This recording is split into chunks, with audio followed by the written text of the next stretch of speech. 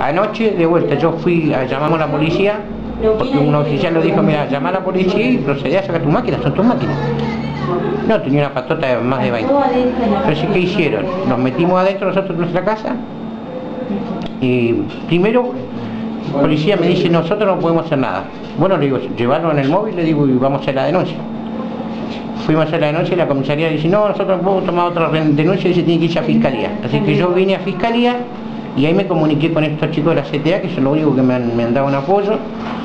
Y bueno, hice la denuncia a fiscalía por lo de ayer. Y bueno, después anoche cuando volvimos, de que ya volvimos a meterla a la casa y si no, no logramos nada con la policía, llegamos y estaba toda la, banda esa y los cortaron el agua, la luz, el gas, el cable y los patearon la puerta y los amenazaron. A mí me dijeron, a vos gordo te voy a cagar matando hijo de puta y a vos Jessica te voy a cagar culiando, le dijo. Así le decía. ¿Es tu señora? Sí. ¿Y ahora ya se fueron de ahí? ¿Vos, vos seguís ahí? No, nosotros yo me quedo ahí hasta que me entregue las máquinas, no quiero otra cosa, quiero que me entregue mis maquinarias, eso es lo que quiero.